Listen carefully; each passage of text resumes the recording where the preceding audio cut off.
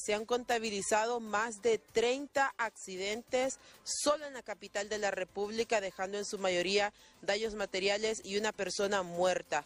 Para que nos dé más detalles, José Albani Herrera, subcomisario de la Dirección de Vialidad y Transporte, nos va a dar más detalles sobre esto. Buenos días, eh, verdad, eh, a la audiencia de HCH. Eh, lamentable dar estas entrevistas acerca de la cantidad de accidentes que hemos registrado en las últimas 24 horas, como usted lo menciona. El día de ayer eh, a las 11 de la mañana pues se registró un accidente a la altura del puente aéreo del Prado, donde perdió la vida un menor de edad de 16 años, pues a causa de la imprudencia del mismo conductor y del menor. Este pues eh, eh, chocó con, la, con una señal de altura que hay en la entrada del puente aéreo, perdiendo la vida de forma inmediata. Es así que en horas de la madrugada del día de hoy eh, registramos dos volcamientos en el Boulevard Fuerzas Armadas. Gracias a Dios, pues solo daños materiales, no tuvimos lesionados ni tampoco eh, algún fallecido en estos.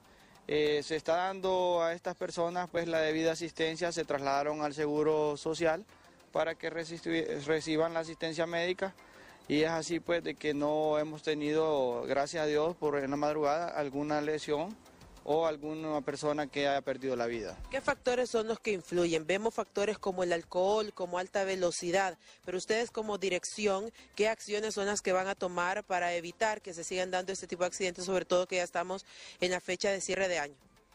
Sí, bueno, estamos ejerciendo labores operativas encaminadas a realizar las pruebas de alcoholemia, pero aún así, debido a la temporada, eh, la gente pues está celebrando las famosas cenas navideñas, eh, también la circulación de dinero, el pago de los aguinaldos. Muchos de los ciudadanos lastimosamente pues dedican una parte de su aguinaldo para ingerir bebidas alcohólicas y es así que se ve reflejado en el aumento de los accidentes de tránsito, específicamente en horas de la madrugada, ya de 4 de la mañana en hasta las 6 de la mañana es donde hemos tenido un incremento en los accidentes. ¿Accidentes con cuántos cierres de 2019 hasta ahora? Bueno, a nivel nacional eh, tenemos un poco más de 5.500 accidentes a nivel nacional.